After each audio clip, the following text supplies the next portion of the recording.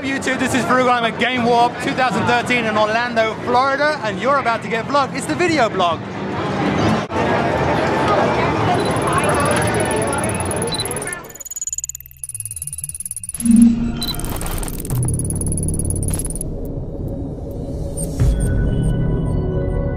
Hello YouTube, this is Froogle, and here we are with another video blog. Been quite a while since I've done these, so I apologize for the um, gap between this one and the previous one.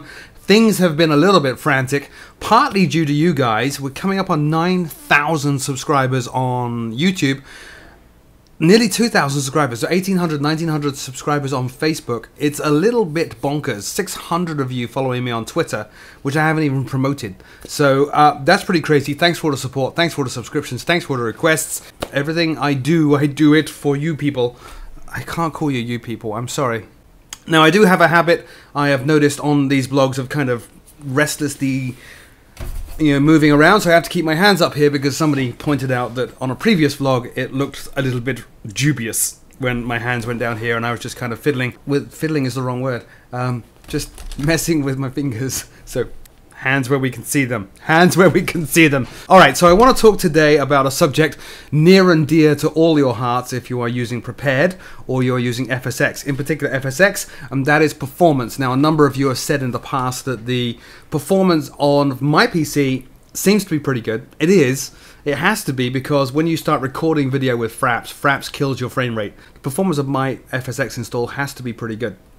Now, the way I did that in the past, two things. I would go to Kostas's tweaking guide, which is what I typically tell anybody that asks me for help. Go and Google Kostas FSX tweaking guide. That's Kostas with a K. He's got a great document out there, very lengthy document explaining how to tweak FSX, what all the config settings are that you can mess with, what they do. It's a fabulous guide. Not denigrating that at all. It's still the number one place I would recommend you all go to.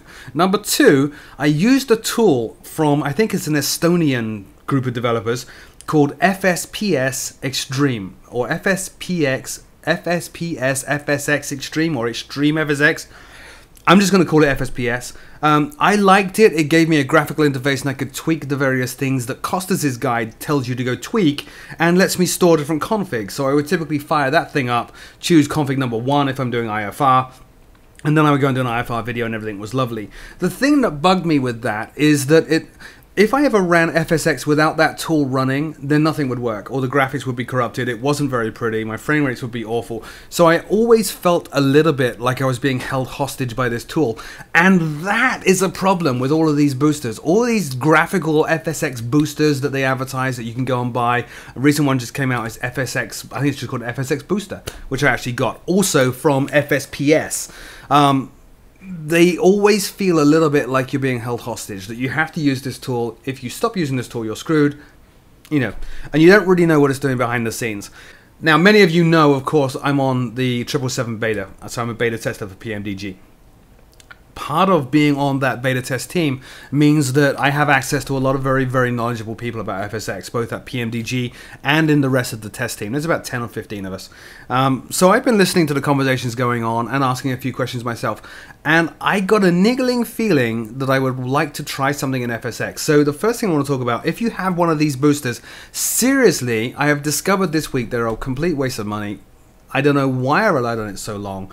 It doesn't do good things because I uninstalled it and I started to, rather than reinstall FSX, I wanted to figure out exactly what this tool had done to my install that screwed it up. And I found it reorders your scenery library, which is always a bad thing.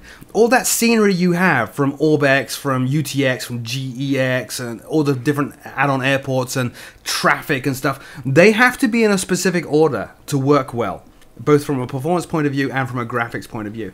This FSPS Extreme crap reordered everything. So that's part of why all my stuff was screwed up. I don't know whether it reorders it so you have to run FSX with that tool running and then it kind of puts it back when it's running, or if it just naturally just screws it up, but it had reordered everything. Didn't like that at all. So I spent a ha happy two or three hours going through all my add-on scenery, going through all the PDFs, finding out the order that things needed to be in, and I might do a video on that, explaining how to reorder your scenery library. Now the second thing, I didn't like some of the tweaks that this FSPS thing had done to my FSX config file, which if you're on Windows 7 is in app data, I think it's your, your user directory, app data roaming, Microsoft FSX. There's a file in there called fsx.cfg. That's where you normally tweak stuff. I didn't like some of the stuff it had done to that. So what I did was I blew it away. I deleted it, fired up FSX. It creates a brand new one, set all the settings I want within FSX, quit out, and then I can start tweaking. Now, here's the thing. I had seen on the conversations within the beta test team somebody talking about the only tweak I ever do is this. So I thought, that's really interesting because I've never just done that one thing. So I looked at that. Ryan from PMDG also linked an article he wrote. Now, this is only useful if you're an NVIDIA user. If you're not an NVIDIA user, you're going to get limited mileage out of this, all right? I got to warn you first. But he linked an article he wrote on the AvSim forums, which is linked, by the way, in the comment in the um, description of this video. Check it out on how to use NVIDIA Inspector. Now, what NVIDIA Inspector does is it basically uh, uses the features of the graphics card to tweak the output, you know, to tweak the image to give you a better image than you would normally get out of FSX, but also to take some of the load off FSX. Now. Those of you on Facebook know I had a lot of problems initially with the 777's videos and screenshots. What I was getting with was the video and the screenshots that were coming out of Fraps were not what I was seeing on the screen. They had jagged edges. They did not look good. So that bugged me a little bit, which is another reason why I went hunting for Ryan's document and Ryan's advice. Anyway, what I ended up doing was three things in FSX config. I turned on the high mem fix, I will link Kostas's tweaking guide. You can find all this stuff in Kostas's tweaking guide. I'm going to link that in the show notes. I turned on the high mem fix, I turned on the widescreen fix, and I turned buffer pools off.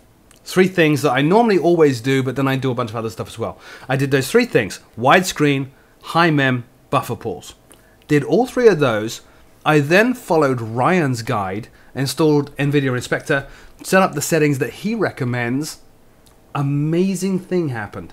I was having some issues. The 777 performance is much better than the NGX. It really is much better than the NGX. But my experience with it was it was only marginal. All the other testers were saying, oh my god, I'm getting 10 or 20 more frames per second. Whereas I was only getting, say, 5. So it was an improvement, but not as amazing as their improvement. I did all these tweaks from Ryan. I did those three tweaks in my FSX config, and I jumped. Now, get this. On the ground at Gatwick, using Gatwick 2000 or Gatwick Extreme, whatever it is, UK 2000 scenery Gatwick Extreme, I jumped from 25 frames per second to 40, 40 frames per second, which is amazing, amazing, amazing, amazing. And my sim now looks better than it has ever, ever looked. So I strongly urge you, if you're having problems with performance with FSX, I know a lot of you are, blow away the FSX config. Start FSX up, it makes a new config, do all your graphic settings and stuff in FSX, quit out, put those three tweaks in widescreen, high mem, buffer pools, which you can find in Kostas' guide. Then, if you're an NVIDIA user, look at Ryan's document, also linked in the show notes. Try those things out and just see how far you get. I found it to be amazing. Amazing. Anyway, as always, my name is Froogle. Thank you so much for watching and thank you so much for subscribing. If you have not checked it out, I do strongly urge you to check out facebook.com slash frooglesim. There is video and pictures that go up there that you don't see on this YouTube channel. So just letting you know, the first 777 stuff appeared on Facebook, not on YouTube. As always, my name is, is Froogle. Thank you for watching.